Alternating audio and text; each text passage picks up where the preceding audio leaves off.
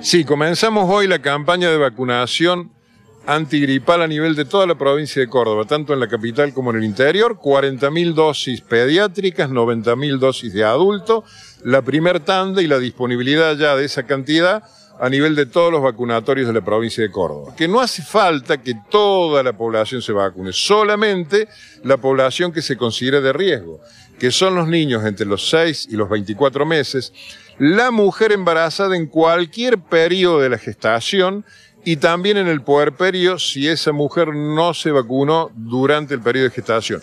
Y los que tienen más de 65 años. Recordar una cosa importante.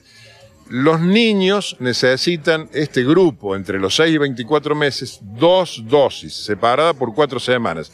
Y recordar también que entre los 2 y 64 años las personas que sean obesas, que tengan diabetes, que tengan algún problema cardiovascular, algún problema respiratorio, que tengan alguna inmunodepresión con indicación del médico, con certificado médico, se les pone también la vacuna gratuitamente, ¿no? Hoy estamos conmemorando también, en este lanzamiento de la campaña antigripal a nivel de la provincia de Córdoba, el Día Mundial de la Salud. Recordar de que el lema es salud para todos en cualquier lugar. El acceso universal a la salud tiene que ver con un concepto de justicia social. En definitiva, si las personas tienen acceso a la vivienda, al trabajo, si tienen acceso a la educación, si tienen acceso a una vida digna, tienen por supuesto más salud.